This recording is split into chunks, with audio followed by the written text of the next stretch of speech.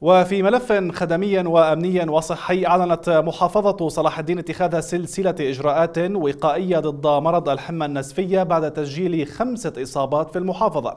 وقال نائب المحافظ عمار حكمة البلداوي أنه بعد تسجيل خمس إصابات في قضاء بلد عقدت المحافظة اجتماعا موسعا للمختصين في المؤسسات الصحية والأمنية والخدمية.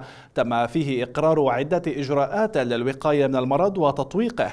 وأوضح أنه تم تخصيص مدخل واحد للمواشي من خارج المحافظة وحصر أوقات الذبح والجزر من الساعة الخامسة فجرا حتى العاشرة صباحا مضيفا أنه وبحسب المستشفى البيطري فإن الإصابات انتقلت عبر مواش دخلت إلى قضاء بلد قادمة من محافظة كركوك مؤكدا أن الفرق الصحية والبيطرية اتخذت التدابير اللازمة في أماكن الإصابات ترافقها حملات توعية وإرشاد لمنع انتشار المرض.